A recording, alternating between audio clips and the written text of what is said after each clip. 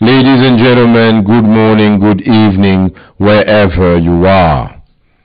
We are living in a time of unprecedented stress and conflicts, a time of high level of anxiety, a time of war, a time of turbulence, a time of fear. Right now, most of our attention is drawn towards what is happening in Ukraine, towards the war and between Ukraine and Russia. But there is another human tragedy that is happening right before our eyes, closer to the coast of the United States of America. It is only a matter of time before this tragedy reaches its maximum. We are talking about the collective death of an entire nation, Haiti. We have the moral and civic responsibility to inform you about it we have come to address directly everyone, regardless of nationality, race, color of skin, religion, or sexual orientation, everyone who cares, everyone who loves Haiti, its people, and its culture. Because Haiti needs our help in this critical moment of history. The country is facing powerful forces of evil, and the objective is to uproot and destroy the Haitian people. Human rights organizations report hundreds of deaths every day. Haitians are dying from gang wars every day. Heads are being decapitated, bodies are being burned, families are being forced to leave their homes to seek refuge with absolutely no help or guidance from the government. People are dying from hunger and from diseases, from stress, anxiety, things that could easily be mitigated. Haiti is now witnessing its biggest migration in modern time. The Haitian youth, powerless and hopeless, are leaving the country in masses. These are the same people whose creativity, productivity, and vitality Haiti needs for its development. It is a country social capital. And we have come here to tell you that it is all happening by design. It is all part of a plan to cripple the state, to uproot the Haitian people, and to reappropriate the space at the expense and blood of its people. This policy is being implemented through a system of terror that keeps the country on its edge politically, socially, and economically, that scares potential investors away, and that keeps the Haitian diaspora at bay. Brutal assassination of President Jovenel Moïse is only a tip of the iceberg. This horrible crime left the country without a head of state. It destabilized it even more, leaving it in worse shape than it was before. This, ladies and gentlemen, is the work of an unholy alliance between some very powerful minorities, wealthy families, and multinational corporations with special interests on both sides of the island. It is the work of an unholy alliance between wealthy Dominicans producers and the wealthy Haitians who are importing the goods. Thanks to this strategic alliance, Dominicans are now producing 60% of everything the Haitians consume. This ratio is bound to increase. The Dominicans control the economy, and soon they will control the politics. The few industries Haiti had, its agriculture systems, have gradually been destroyed, while people are going hungry and suffering from high inflation. The Haitian economy is being sabotaged. All meaningful investments are being directed to the eastern part of the island for profit maximization, optimization, in the name of market efficiency. But we know what these terms mean. More money, more natural resources, more power for the top wealthy 1%. And the price to pay, mass hunger, mass poverty, mass murders, mass migration, which in reality is no different to a situation of war. Speaking of war, we salute the international efforts to bring peace between Russia and Ukraine. We understand that this war has geostrategic reasons behind it. Nevertheless, it remains a horrible event in the history of humanity. The world needs peace and more love, not more wars. We salute this massive international effort which is now underway to help the wounded Ukrainians and to attend to the needy children and refugees, victims of this horrible war.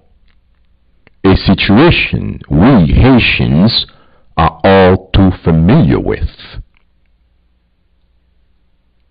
Haiti is now a war zone, just like Ukraine. What is sad about it?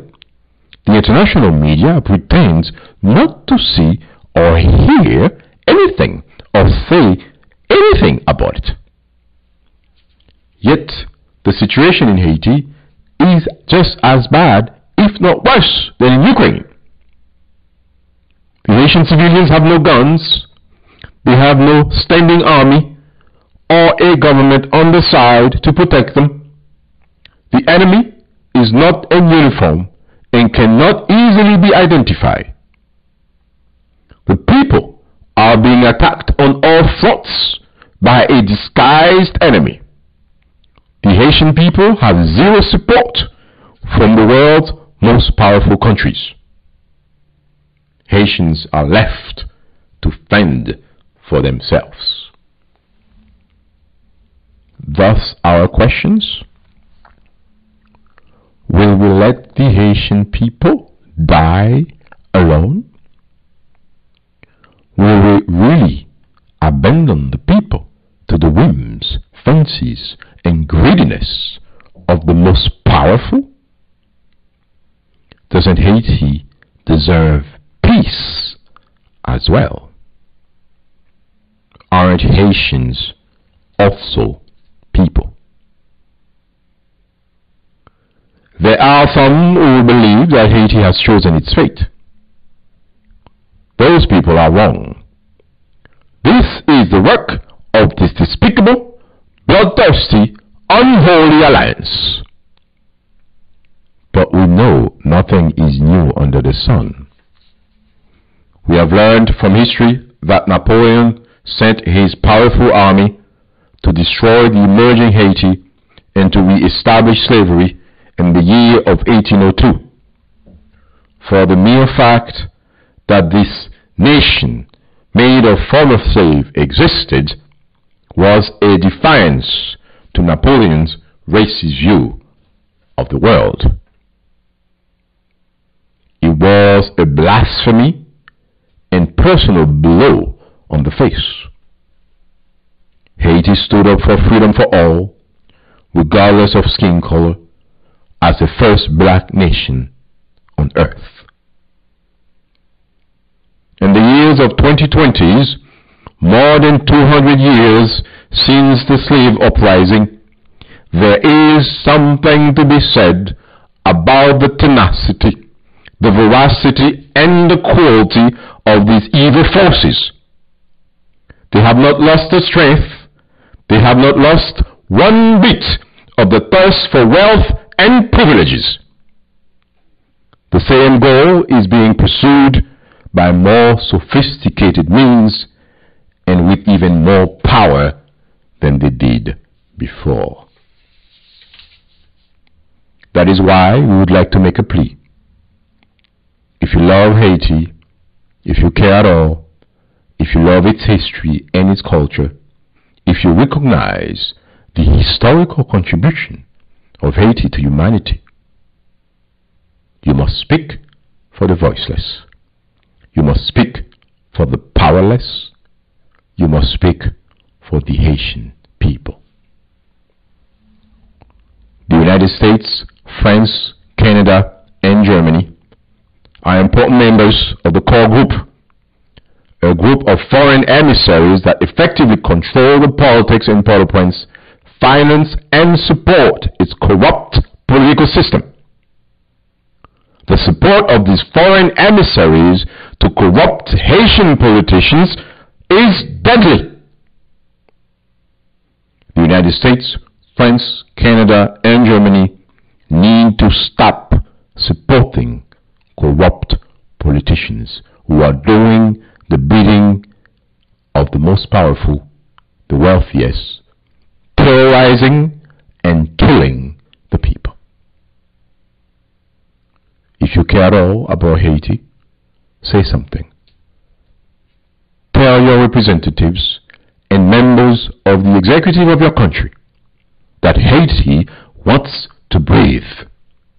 Haiti needs to breathe. Right now, it cannot. Right now, it does not have that privilege. Haitians have been fighting for the freedom for so long.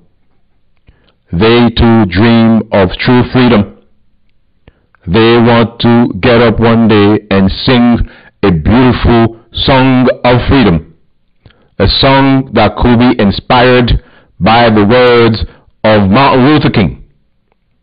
This song could be heard in every city, on every hill, in every valley, from Cape Haitian to Jérémie, from Arcaye to Tigouave, and on the hills of Jacmel.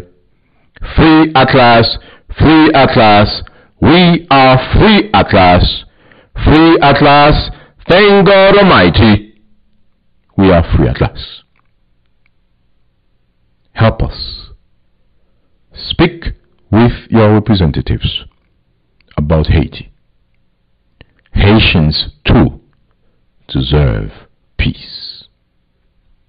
Thank you.